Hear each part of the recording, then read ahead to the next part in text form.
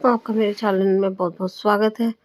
तो चलिए एक बहुत बढ़िया सी आपके साथ रेसिपी शेयर कर रही हूँ, जिसके लिए हम अच्छा खासा पे करते हैं, जो कि अब घर में बहुत इजीली और बहुत आसानी से बना सकते हैं। जिसके लिए ले लिया है मैंने तीन से चार बड़े प्याज और तीन ही मैंने लिए हैं टमाटर। इन्हें सबको मैंने बारीक बारीक चॉप कर लिया है और सेपरेटली रख भी लिया है।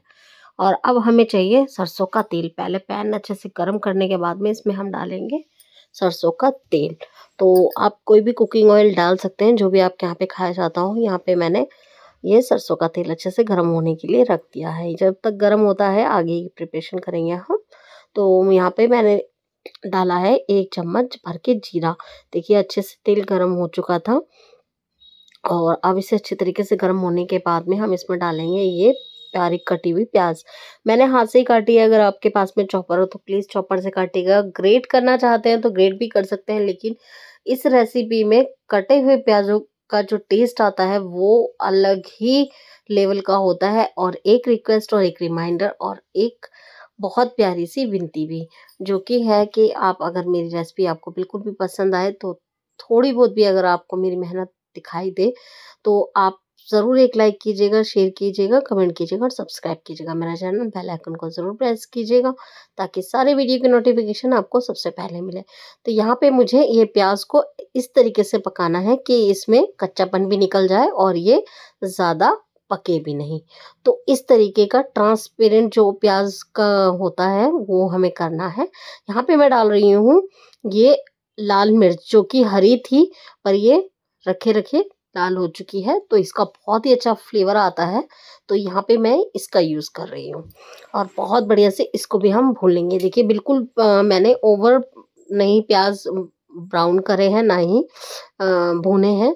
इनको सिर्फ़ मैंने इनका जब ट्रांसपेरेंट हो जाता है प्याज का कलर तब मैंने तब तक भुना है। यहाँ पे डाले हैं सूखे मसाले, एक चम्मच भर के डाला है धनिया पाउडर, आधा चम्मच डाली है रेगुलर वाली जो हमारे घर की मिर्ची होती है, और आधा ही चम्मच मैंने डाला है यहाँ पे हल्दी पाउडर, और एक चम्मच भर के डाला है इसमें जीरे का पाउडर। इन सभी बेसिक से मसालों को हम अच्छे से पहले भून लेंगे। बहुत अच्छे से भूनना है और इसको भूनने में हेल्प करेगा पानी। तो हाँ जी, मैं यहाँ पर पानी का यूज़ कर रही हूँ।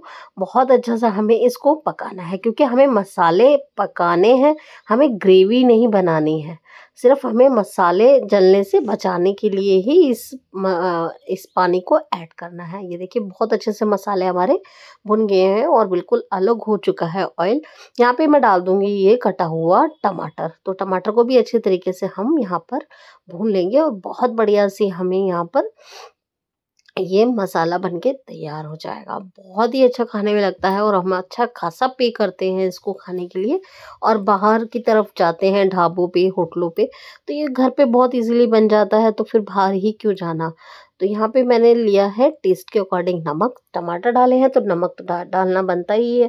तो यहाँ पर इसको भी अच्छे तरीके से मिक्स कर देंगे ताकि ये बहुत बढ़िया से हमारा टमाटर गल जाए। तो यहाँ पर ये देखिए टमाटर बहुत अच्छे तरीके से मैशी हो चुके थे तो मैं थोड़ा सा इसको अभी प्रेस करते हुए इस तरीके से इसको अच्छे से पका लूँगी। बहुत बढ़िया से इसको पका लेना है हमें और बहुत अच्छी सी ये हमारी पीस ही है तो हमारा ये बहुत अच्छे तरीके से बनना ज़रूरी है। और अब मुझे चाहिए यहाँ पर पनीर। तो यहाँ पे मैंने तकरीबन डेढ़ से दो सौ ग्राम का टुकड़ा लिया है पनीर का और मैं इसे पतली वाली जो हमारे ग्रेटर होती है, जिससे हम अदरक वगैरह ग्रेट करते हैं, वो लिया है। उससे कर लूँगी ग्रेट। आप चाहे तो यहाँ पर हाथ से भी तोड़ के इसको ले सकते हैं, क्योंकि ये पनीर की जो हम भुजिया बना रहे हैं, जिसे भुजी भी बोलते हैं पनीर की तो ये इस तरीके से कंबल भी करके बना सकते हैं। बहुत ही अच्छी लगती है, आप दोनों तरीके से बना सकते हैं। मैंने दोनों तरीके से इसको पनीर को करके ले लिया है। बहुत ही बढ़िया और बहुत ही अच्छा रिज़ल्ट आता है। आप इसको किसी भी रोटी के साथ खाइए, ब्रेड के साथ खाइए, या आप इवन नान बनाइए, लच्छा पराठा बनाइए, या सिंपल पराठों के साथ खाइए, इतनी बढ़िया लगती है ये पनीर की भुजी बहुत ही टेस्टी लगती है। तो यहाँ पे मैं अच्छी तरीके से जब हमारा टमाटर और जो प्याज का मसाला है, ये तैयार हो जाएगा, उसके बाद में इसको अच्छे से मिक्स करेंगे और बहुत अच्छी तरीके से हमें इसे भूनना है। ओवर नहीं भूनना है हमें पनीर को, सिर्फ़ हमें इसको अच्छे से मिक्स कर लेना है ताकि ये सारी ग्रेवी को अपने में अब्सॉर्व कर ले। तो बहुत बढ़िया से इसको हमें भुनने देना देखिए ऑयल अपने आप ऊपर आ रहा है और बहुत अच्छा लग रहा है ये।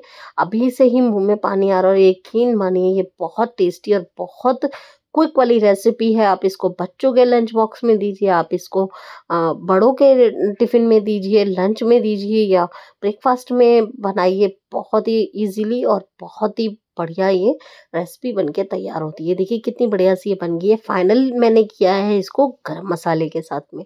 तो यहाँ पे मैंने वन फोर्थ चम्मच डाला है गरम मसाला। ऊपर से डाल दिया है हरा धनिया जो इसके टेस्ट को और ज़्यादा बढ़ाएगा। और ये देखिए, हमारी बहुत बढ़िया सी पनीर की भुजिया बन के हो गई है तैयार। आशा करते हैं आपको ये रेसिपी हमारी बहुत पसंद आई होगी।